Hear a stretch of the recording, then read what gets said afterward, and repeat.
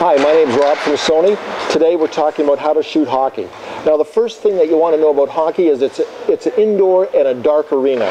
So it is a low light situation and you want to have a camera with a better sensor. The more expensive cameras, this is an A700, we also have the A900. They use a CMOS sensor, it's just better in low light. And the first thing you're going to do when you set up to shoot the hockey is you're going to set your ISO setting to 1600. A dark arena like this, you're going to need 1600 to get a good picture. All right, so that's a CMOS sensor. You set your ISO to 1600. Now this lens is a faster lens. It has a wider aperture, 2.8. This is the 70 to 200 2.8 zoom lens. And you need that wide aperture to let as much light in as you can because again, it's a low light situation. I have my camera set to continuous for the focus on the lens.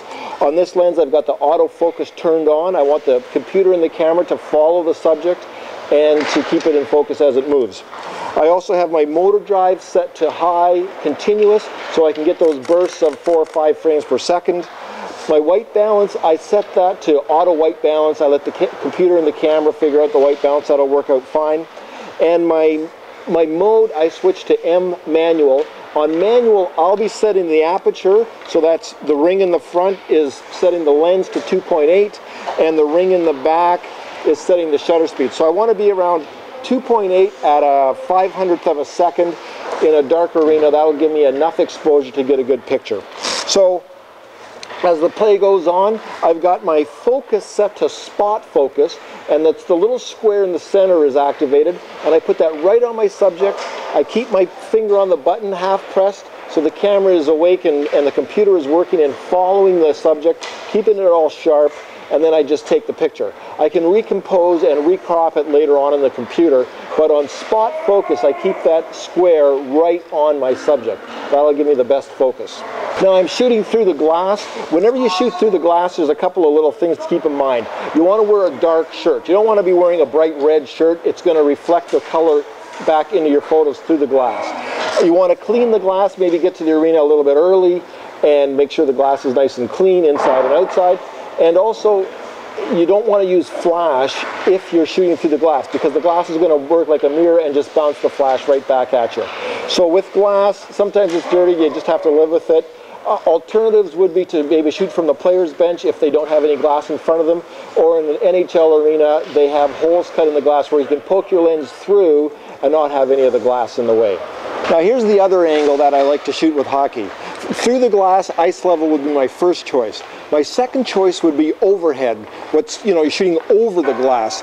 Now I'm using a 300 2.8. that's a little bit longer, has a bit more reach so I can get those action shots. Again, it's a 2.8 lens, so it is a wide lens, fast aperture, letting all that light in because hockey, as I mentioned earlier, is a low light situation. Even though the arena seems bright to a camera, it's low light. So this is a 300 2.8. I don't use it on a monopod for hockey, but you just follow it and do the best you can. This brings it in nice and close. For a pro game, I would shoot the warm-ups from the player's bench with a 300 2.8 and get those nice tight waist up shots. The other thing you can try is to try putting your flash on if the rink is just too dark. Now, I don't mean the, the pop-up flash that comes on the camera. This isn't going to be enough power to light up an arena. It's not going to reach the players. so what you need is an auxiliary flash. This is the, the 58. Turn that on, put it directly at them, and hopefully that'll work out for you. It could create some shadow problems. With some sports, they wouldn't like the interference from the flash going off. Gymnastics, you know, wouldn't be a great choice for that. But for hockey, it's generally fine, and it'll allow you to, in a really dark arena, that secondary flash will just be enough to light it up. So again, it's a low light situation. I use the high ISO 1600 manual aperture, so I'm at f2.8 at around a 500th of a second. That'll be enough to stop the action. These fast lenses like the 300 2.8 or the 70 to 200 2.8, they're perfect for hockey. That's what they're made for. That would be your first choice to get a fast lens in these low light situations. Hockey, although it seems bright when you're looking at it, the rinks are low light and you want that better sensor in a CMOS camera. The A700 works really well. The A900, they both have that CMOS sensor, perfect in low light. And you have a lot of fun, you get some great shots of your children.